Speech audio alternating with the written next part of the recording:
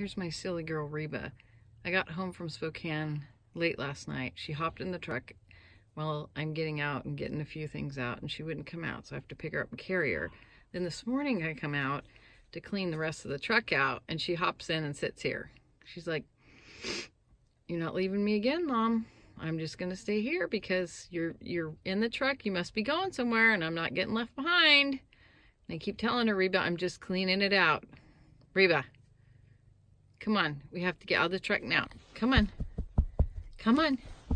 Come on. We have to get out of the truck. Come on. We're going inside. We're not going anywhere.